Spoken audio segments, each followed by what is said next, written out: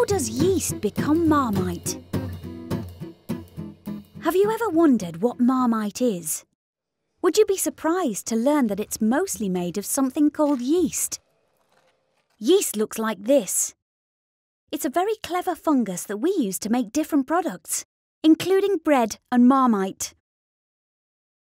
Yeast is a single-cell organism, meaning it is made of only one cell, unlike your body, which is a multi-cell organism made up of millions and millions of different cells. Yeast loves to eat sugar, and when it does, this causes it to release little bubbles of gas called carbon dioxide.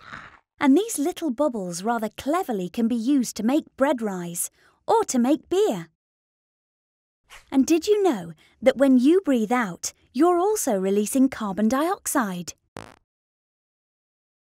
But just how does all of this clever yeast become marmite?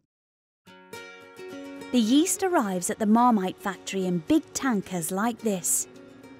It's in a liquid form, which means it's easier to handle. First, it is transferred into these huge vessels, which are called coppers. The coppers are heated up to 95 degrees in order to extract the nutrients from the yeast cells. Next, the hot liquid yeast is passed through a sieve to remove the solids. The solids, which aren't needed, are collected in this bin. The liquid then passes through a series of centrifuges. A centrifuge is a machine that whizzes the liquid round and round incredibly fast.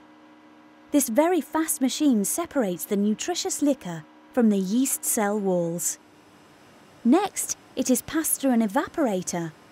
This machine heats up the liquor and the heated water turns to steam. The evaporator is a very complicated machine and is so powerful that in just over an hour it uses the same amount of energy as you'd get from a bolt of lightning. Next, the liquor is forced through these thick canvas-like cloths. This makes it perfectly smooth and free from any sediment.